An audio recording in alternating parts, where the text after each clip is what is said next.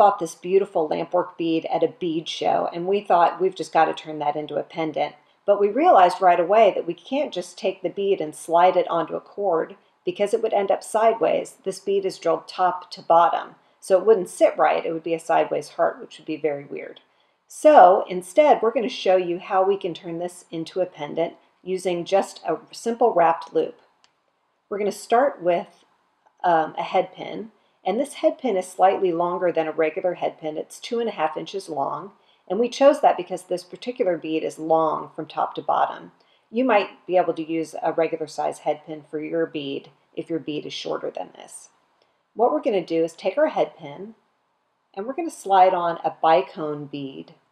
We're using just a 4 millimeter bicone bead at the bottom of our pendant because we need this bead there to stop this heart bead from sliding off. The hole in the bottom is kind of big. I don't know if you can see that that's kind of a big hole. And if we didn't put a stopper bead at the bottom, it would slide right over the head of that head pin. So that's going to hold our bead in place and keep it on the head pin. And then we've got another bicone that we're going to put on the top of our heart. And that's because the heart itself has a little indentation here at the top.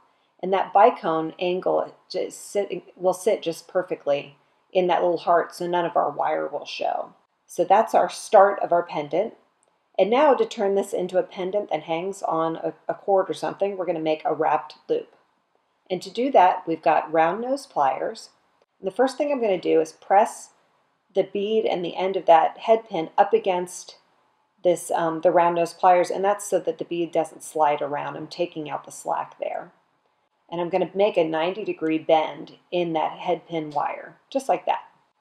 Then I'm going to reposition my pliers so that the top or, or so that I'm holding onto the top part of that 90 degree bend with my round nose pliers. And then I'm going to wrap my wire all the way around that top jaw of the round nose pliers at that sort of part way up the, um, the top jaw mark. And that's so that my loop is a little bit bigger so it'll fit over a leather cord. I'm going to reposition to the bottom jaw, put that in that partial loop, and then I'm going to pull my wire around to finish that loop. So you see I've got a loop there.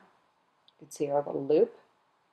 Now I'm going to take the round nose pliers and I'm going to grasp across the loop, just like that, and I'm going to pull the tail of that head pin wire around twice.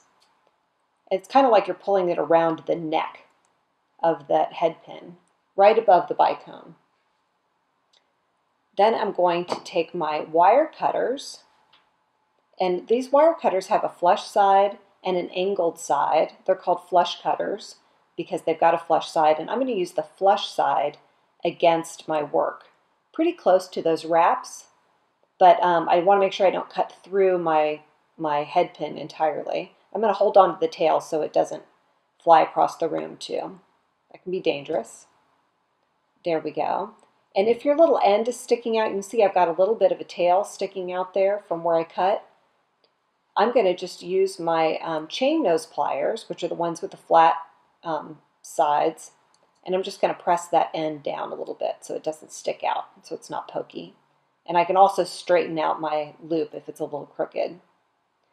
And there I've got a beautiful new pendant with a loop on the top ready to slide on a leather cord.